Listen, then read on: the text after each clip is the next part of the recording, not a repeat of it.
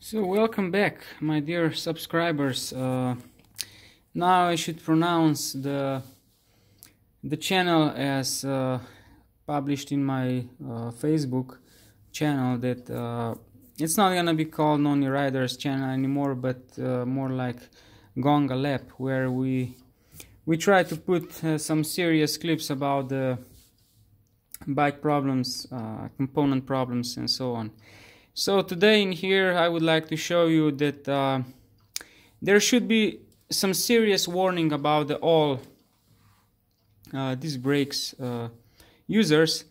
Uh, especially now there is a huge agenda going on about uh, road disc bikes. Uh, are they safe or not they safe because of the fork failures and so on but I would just expose something different uh, based on the, all the experts who are saying that the carbon bikes can be ridden in winter time without any concern because you have no corrosion and so on. Uh, and this is the case uh, from a road bike or let's say gravel bike. Uh, if we take a look the the braking the braking uh, uh, material it's still let's say almost more than two-thirds of the thickness of the new brake pad. So what happened in here is that uh, recently I was dealing with a client who lost both brakes suddenly. Unfortunately the result was not uh, tragic for him to, to get injured to get uh, some serious uh, problem with the to get uh, accident. Uh, it was on the downhill, uh, but probably, like he said, he had a big luck that he jumped from the bike and kind of uh, start slowing down the bicycle uh, with his legs. So it was the right reaction. So in here we can see that the bike was uh, used in winter time. Of course the condition as I can say is all this rust that you see in here is probably the condition which is caused by the salty atmosphere.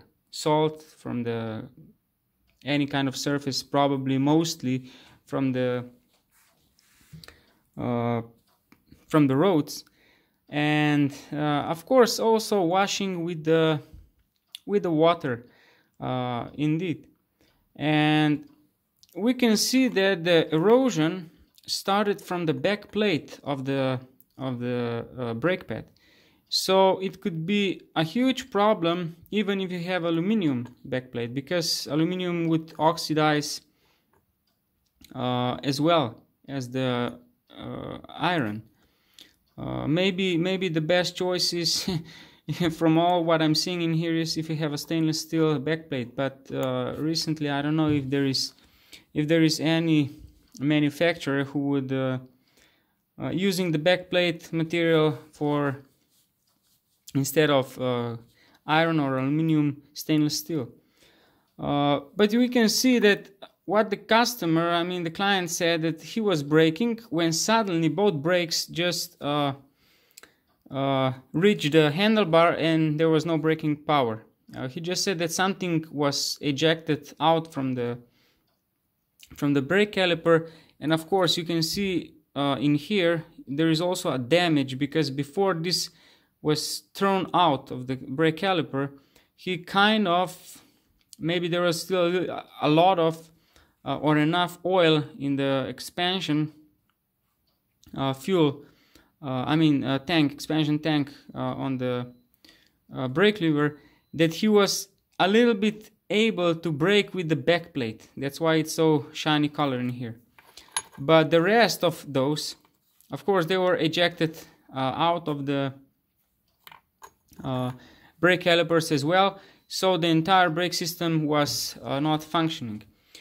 What we can learn from here is that if you're using let's say road bike, even in winter with the disc brakes, uh, it could be a serious problem because the salt, uh, which you don't actually see it, it's a, it's a white powder. Maybe the bikes look like it's a dusty uh, uh or dusted a little bit but basically it's let's say dust and uh, salt powder together when this gets behind or let's say is sitting down on the back plate eventually with the contact with the water which is like you have a fuel tank and if you put the fire on or the spark it will ignite so this is something similar uh, and I would say that uh, for all the customers who are using not only mountain bikes in the winter, but even road bikes or gravel bikes, to have a regular check of their brake pads. Just put it out, maybe wipe with the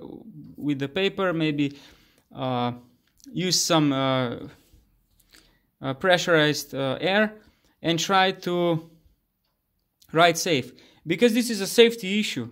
You can imagine if you go from some uh, serious descent and suddenly this happens i don't know I, I think there is no chance that you would be able to to stop the bike with your feet especially if there is not enough uh, straight line uh, which normally in the mountains you have a lot of corners uh, so i would say that even buying the bike uh, for winter let's say that you're using disc brakes uh, I would put uh, at high risk.